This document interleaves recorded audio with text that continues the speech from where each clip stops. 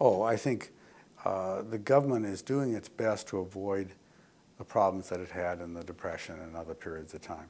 It's providing a huge amount of liquidity. That's exactly what you want the government to do at times like this.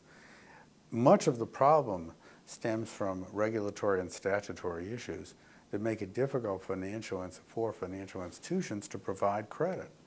And so by every means that they possibly can, the government is trying to pump enough liquidity and enough capital into these institutions in an effort to allow them to provide the credit.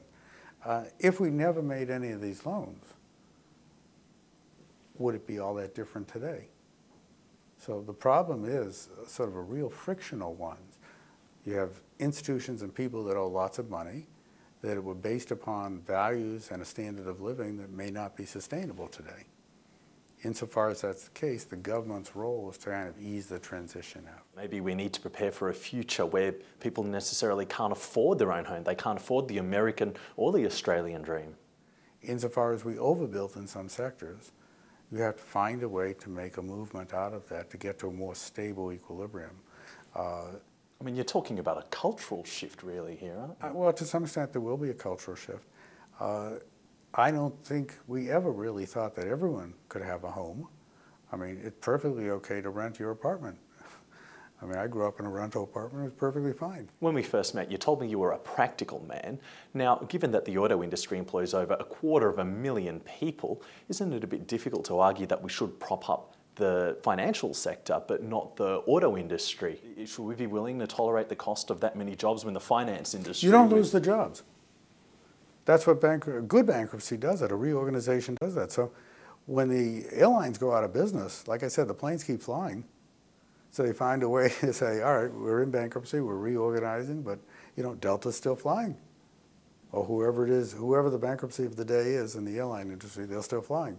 So if General Motors goes into bankruptcy, it just means that they get to downsize, they get to change the nature of their contractual relations with the labor unions, which many of the unions will like, but that's what they get to do and they get to perhaps downsize and become a more efficient, smaller entity that can survive going forward. And the role of fiscal policy. That I think is a major role for government. I mean, you remember C plus I plus G mm -hmm. equals Y, so consumption demand and investment demand and government demand and the excess of exports over imports, that determines your income. That's the demand for your income. Well, C isn't there anymore. C has gone down because the consumer doesn't want to spend any money for all the reasons we talked about before. Uh, I is not looking good. I isn't looking very good, and one of the reasons I isn't good is that C isn't good. So if you run a store, you're not going to be building up your inventory because for consumers who don't want to buy anything, you know, that leaves a lot of G. And X doesn't look too good because the rest of the world isn't happy either. So that's a role for G. It'll take a while, it's long term, and a good G uh, unlike Keynes, who said you could just dig holes and fill them up again, we can actually you know, build infrastructure that is desperately needed in parts, certainly of the United States. So it sounds like what China's done. Do you think we could take a leaf out of their book? Absolutely. Absolutely. I think infrastructure is a great thing for governments to spend money on. Boy, you put a lot of people to work.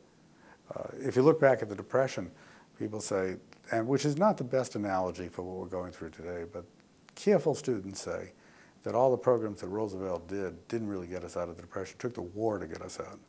Now, on the other hand, our Prime Minister here in Australia just gave uh, people about $1,000 to spend, nothing to do with long-term infrastructure there. Yeah, look, that has an advantage over G too. I like G, but uh, G being government expenditure, I like that. But uh, I was talking to someone and said, you know, uh, if you decide to build a trillion dollars on uh, high-speed train. It'll be three or four years down the line before you put a shovel in the ground, right? Uh, but by cutting your taxes, they give you some money right away. You said liquidity is constipated, but the amounts that we've been putting in, the $700 billion, even a trillion dollars, it's a minuscule proportion of the overall US economy. So it's nowhere near the enema we need, is it? I, I never went to enema. I thought I'd stop at constipation. Uh, 700 billion, though, can solve some really good targeted problems. So because of, I think there's a lot of culprits in all of this, because of mark-to-market pricing, mark-to-market accounting, you wind up with a bank that looks, or a financial institution that looks on the books as though it's insolvent. But the books are kind of not everything they should be. It's not that the assets are below the liabilities because it doesn't fully count the assets, which is the ongoing franchise value of this business. I mean, before we had all this mark to market accounting stuff, uh, over the past hundred years, every financial institution was insolvent at one time or another on a mark to market basis. They were all insolvent, but they worked their way out of it because the future earnings made up for the deficit you have today. They don't have that flexibility and freedom to do that anymore. Do you think we need to get rid of mark to market? Well, I certainly would at the, at the least modify it significantly, and I wouldn't be unhappy if you got rid of it.